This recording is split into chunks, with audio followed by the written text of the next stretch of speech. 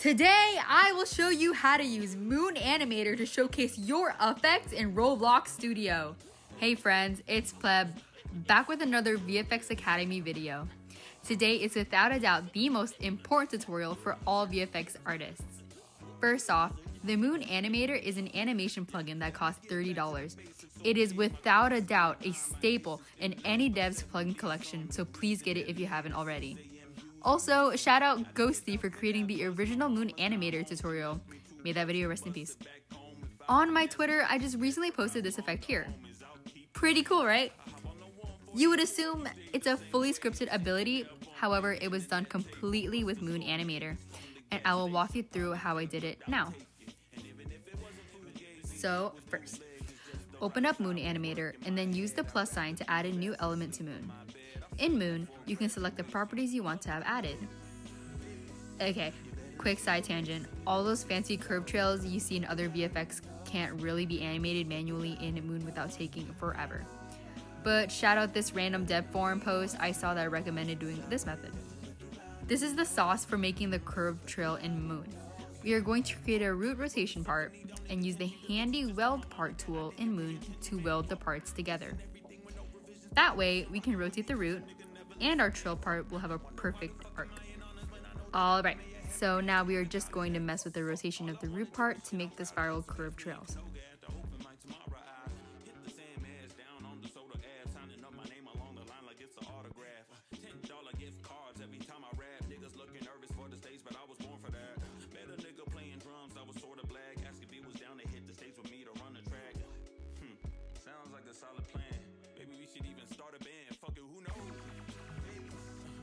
Now let's start adding particles into Moon.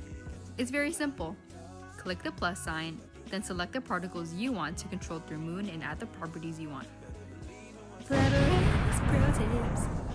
If you have a bunch of particles to be added at once, you can filter only particles in Studio by searching C colon particle emitter. If you use a plugin like Cat's VFX Suite, your emit data will automatically be applied to Moon Animator so no need to type the emit count into Moon.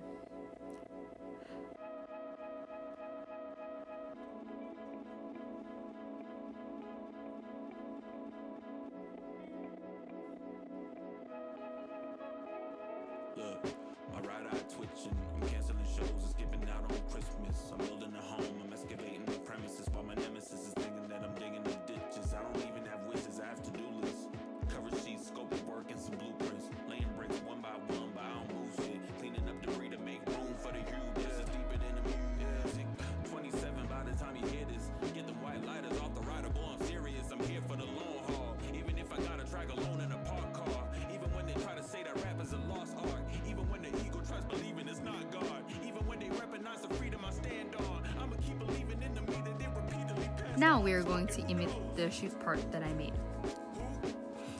Again, click the plus sign in Moon, then we will add the particles for the shoot.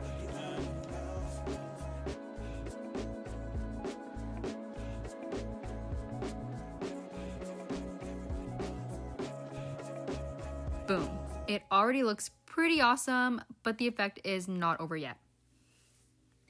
Now we are going to make the moving fish.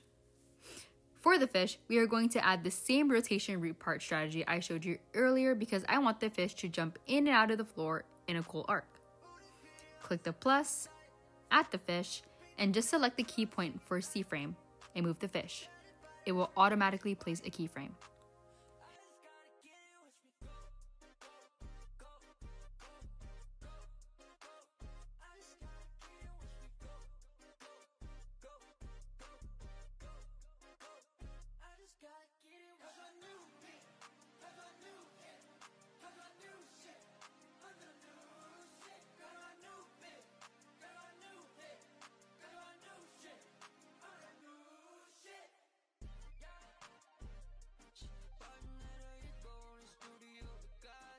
Okay, we are doing the fish splash effect, so add it just like before.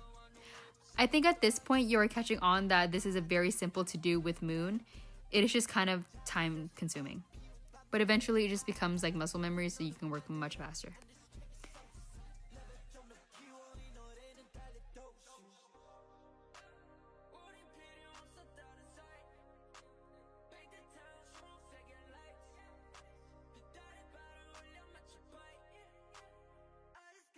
Alright, here's the next section.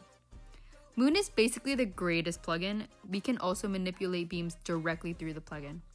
So, like the particles, click the plus sign and select the beams you are using. You can now select which property for the beam you want to animate.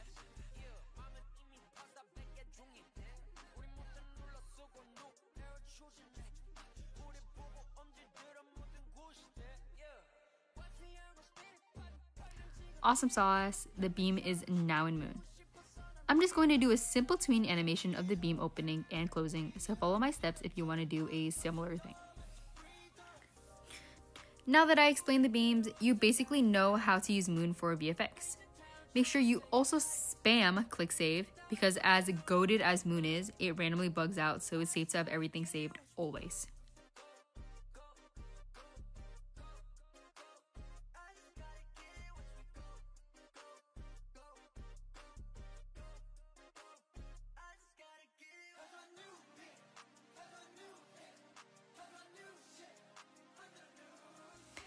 I would just do a quick speed run over the rest of the effect.